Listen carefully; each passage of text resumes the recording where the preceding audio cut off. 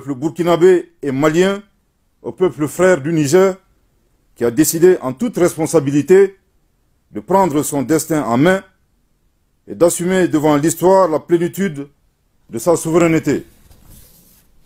2. Dénonce la persistance de ces organisations régionales à prendre des sanctions aggravant la souffrance des populations et mettant en péril l'esprit de panafricanisme. 3. Refuse d'appliquer ces sanctions illégales, illégitimes et inhumaines contre le peuple et les autorités nigériennes. 4. Avertissent que toute intervention militaire contre le Niger s'assimilerait à une déclaration de guerre contre le Burkina Faso et le Mali. Je répète. 4. Avertissent que toute intervention militaire contre le Niger s'assimilerait à une déclaration de guerre contre le Burkina Faso et le Mali. Je répète pour une dernière fois. 4. Avertissent que toute intervention militaire contre le Niger s'assimilerait à une déclaration de guerre contre le Burkina Faso et le Mali.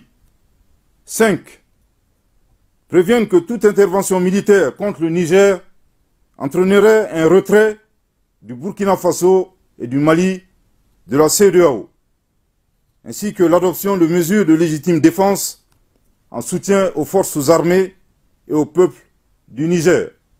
6.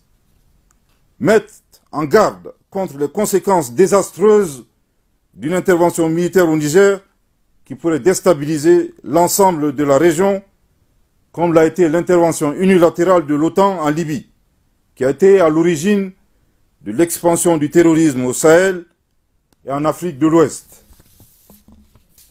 Les gouvernements de transition du Burkina Faso et du Mali sont profondément indignés et surpris par le déséquilibre observé entre, d'une part, la célérité et l'attitude aventurière de certains responsables politiques d'Afrique de l'Ouest, désireux d'utiliser la force armée pour établir un ordre constitutionnel dans un État souverain.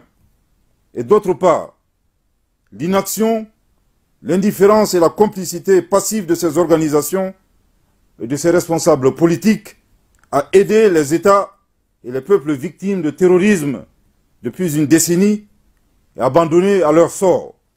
En tout état de cause, les gouvernements de transition du Burkina Faso et du Mali invitent les forces vives à se tenir prêtes et mobilisées en vue de prêter main forte au peuple nigérien en ces heures sombres du panafricanisme.